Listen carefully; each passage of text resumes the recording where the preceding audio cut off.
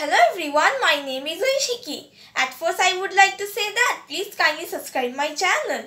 So today I am going to read part 5 of Robin Hood. And yes, I would also like to inform that the ones who want to watch Robin Hood part 4, they can get the video link from the description box. So now let's begin with our story. Robin and the Potter The market square at Nottingham began to fill early. Traders who lived in the town were already setting up their stalls as the gates opened. Then they were joined by country folk and travelling merchants, many of whom had journeyed from far away. One of the first to arrive was a large fat porter with a red face, long straggly hair, and a brushy beard. He wore a floppy white brimmed hat and a big crook. Whistling gaily, the porter drove his little cart straight to that part of the square where the steps of the castle came down into the market itself. Most traders avoided this particular spot, for the steps lead to the sheriff's living room. He was a mean man and often came into the square to drive a bargain and traders dared not refuse.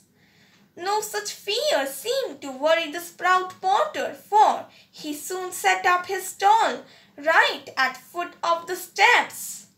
He began loudly calling his wares about the din of the marketplace. A crowd quickly gathered. His pots were good and the price he asked was so much less then they were worth that he soon had only a dozen pots left. Suddenly, the great door above him opened and down the steps came Dame Margaret, the sheriff's wife, with her serving girl. Attracted by the noise she made for the crowd around the potter's stall, they parted respectfully to let her through the porter swift off his cap and bowed low to her. Madam, he said, a poor porter would be honored if so fair a lady would accept as a humble gift these last twelve pots of mine. Why, good Master Porter, she said with a surprised but friendly smile. I thank you these are fine and well-made pots, among the best I have ever seen. Only the best would be good enough for you, my lady, said the porter. Dame Margaret smiled again. Next time I must pay you for your pots.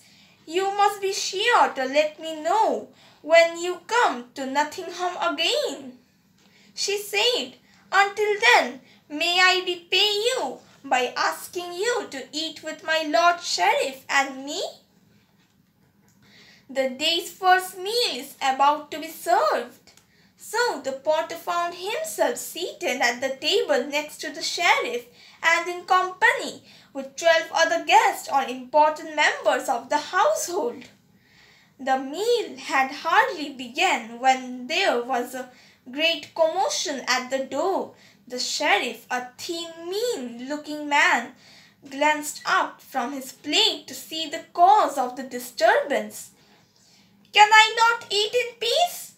he called out irritably. A rough fellow is trying to force his way in, my lord, replied a serving man who had run up. He says he must speak with you. The sheriff pushed his meat away and speared an apple on his knife point. Must is not a word to use with me, and when I am eating, throw this rogue out and wipe him from his innocence, he startled. There was moan suffocating at the door as the guards obeyed the order. My lord sheriff, a harsh voice came loudly I have a message for you from Sir Guys of Gisborne. Hold, called Sheriff, thumping the table with his fist. Bring the rogue here. You have a message from Sir Guy, you say? Out with it then. It was written message, Sir Sheriff, said Richard Malbate. He shook off the two soldiers who held his arms. The letter, then you fool the letter, snapped the sheriff. My lord, the letter was stolen from me as I came here through the forest, replied Malbate. I was set up by twenty men, Robin Hood's cutthroats, most likely. If you would send two, then you have no message after all, the sheriff interrupted angrily.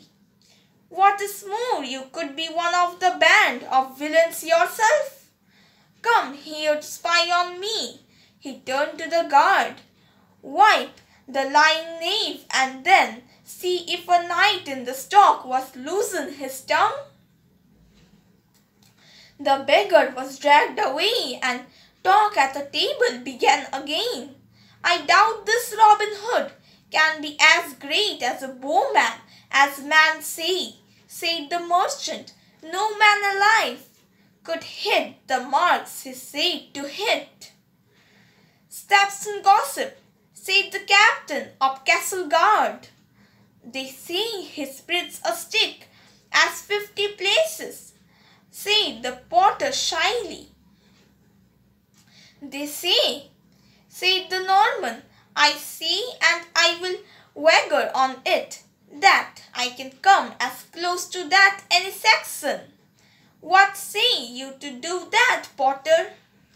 The Potter glanced round the table. It seems, my Lord Sheriff, that as I am the only Saxon here, that challenge was meant for me, but I am no longer of the build to draw a bow. He went on, patting his large stomach. Although I say it so often enough my youth, but if the Norman captain gave it a great shout of laughter. I didn't mean you. Potter, though, if you would care to leave your youth again and take up the challenge, I will let you shoot from the halfway mark. Excellent! cried the sheriff, and standing up, he led the way to the tilting yard.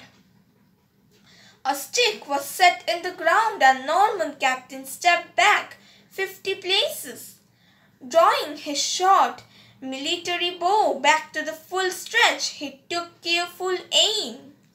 There was an applause from the onlookers as the arrow thundered into the turf only two inches from the stick. The captain looked pleased as he placed out the halfway mark and handed the bow to the potter. That was a fine shot, said the potter. Then he selected an arrow and took aim. There was even greater shout as his arrow split the stick in two. By the saints, cried the sheriff, you are a better bowman than you are a trader, Master Potter.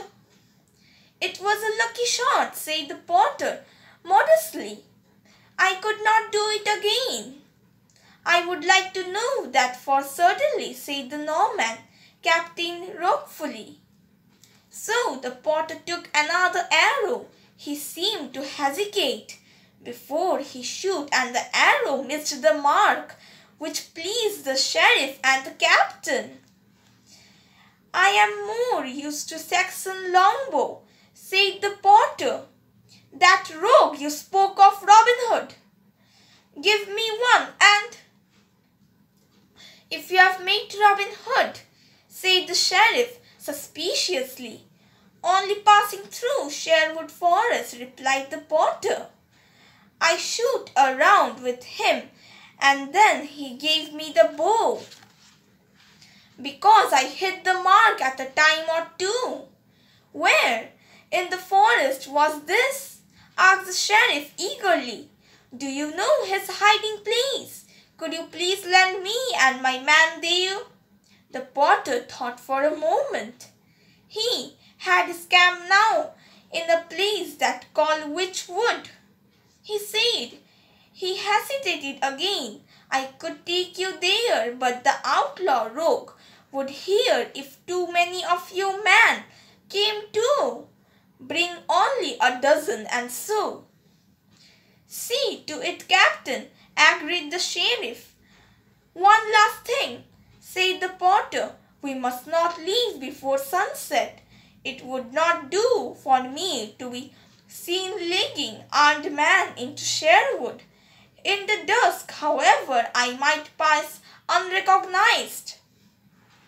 So our story ends here. In my next video, I am going to read chapter 6 that is the sheriff is strict. If you liked my today's video then please like and comment my video and also subscribe my channel to listen to more such stories and follow all my videos regularly and don't forget to click on the bell icon. Thank you.